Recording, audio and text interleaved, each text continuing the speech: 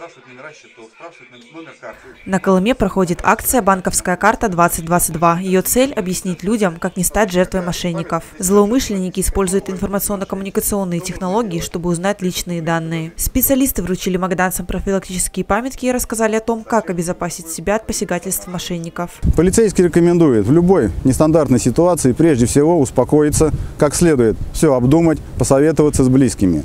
Уважаемые граждане, не принимайте поспешных решений. Помните, что сохранность ваших денежных средств напрямую зависит от вашей бдительности. МВД России по Магаданской области рекомендует не отвечать на вызовы с неизвестных номеров в телефонах.